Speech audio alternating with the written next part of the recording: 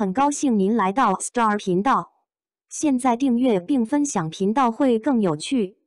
明晚开播，又一部古装仙侠大剧，赵丽颖零更新二搭，三大平台同播。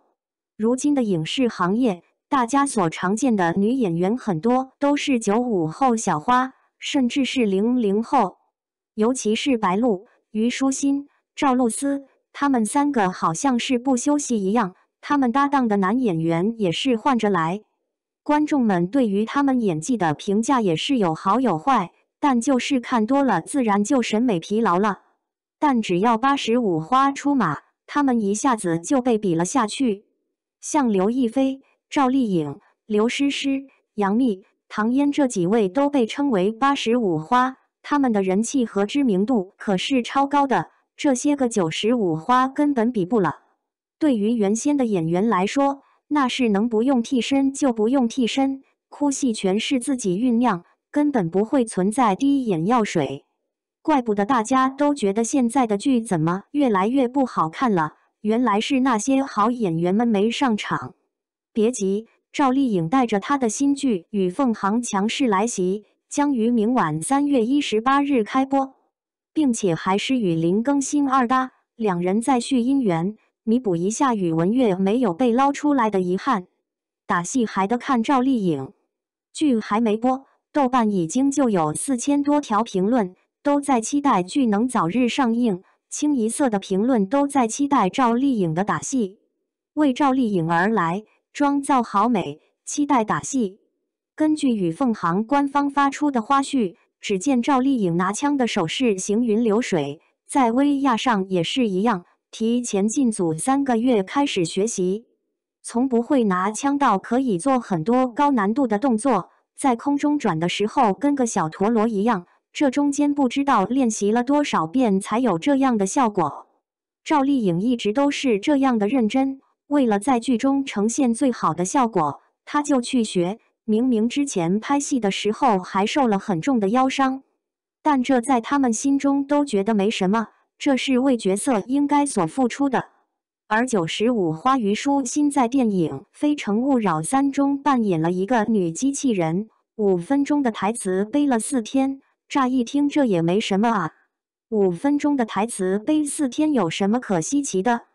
谁知大家都在夸赞他，导演冯小刚更是亲自上场表扬，说他演得好，说他认真。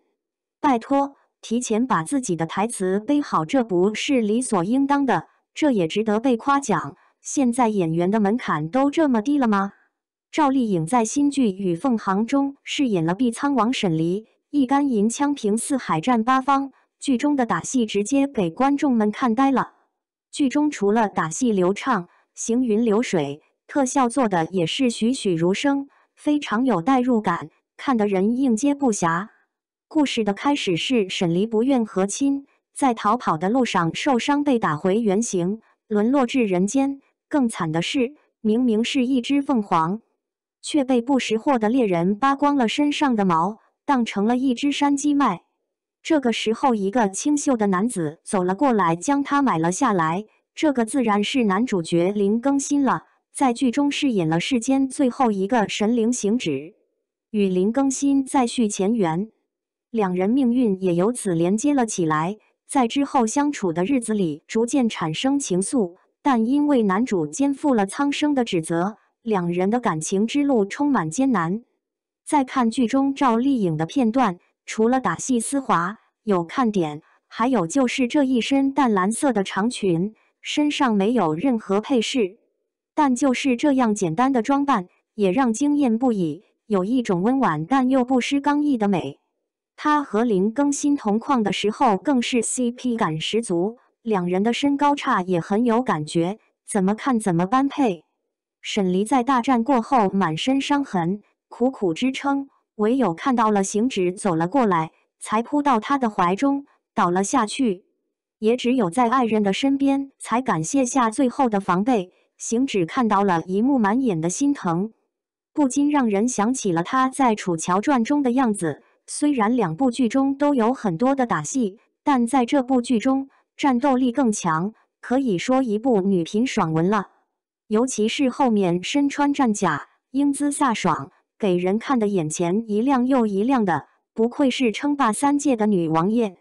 这不得把盛红老爹给看迷糊了。明儿，你怎么还耍上枪了？我的天爷呀！赵丽颖就像是一部电视剧中的活招牌一样，很多人听到是赵丽颖演的，那这部剧首先就不会是一部烂剧。很多就连不是赵丽颖的粉丝，看了以往赵丽颖在剧中的演技，还有大家对于赵丽颖的评价。都会选择去看她的剧。赵丽颖给我的感觉就是她的剧我都可以无脑冲，这句话真的没有错。回顾这几年赵丽颖的剧，真没有差的。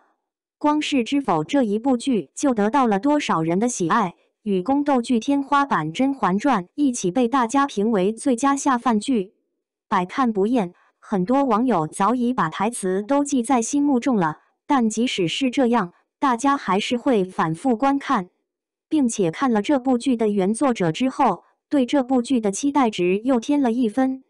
改编自九路飞香的小说《本王在子》，他的小说已经不是第一次改编了，曾经火遍全网的《苍兰诀》也是出自他手，还有《招摇与君初相识七十吉祥》也是，这都是非常有热度且呼声很高的作品。这次他还担任全剧的编剧。赵丽颖则是监制，看到这些，我们更加放心了。相信这部剧的上映，当年《楚乔传》的粉丝们也都开心坏了吧？虽说没有等到第二部，但这部剧更是惊艳。所以说，哪怕是过了一十来年，这些八十五花依然扛打，他们的地位是现在的九十五花比不了的。赵丽颖的这部新剧，不管是从剧情、人设，再到剧中的特效。都是近两年内很好的，期待赵丽颖在剧中的表现。你们最喜欢赵丽颖的哪部剧？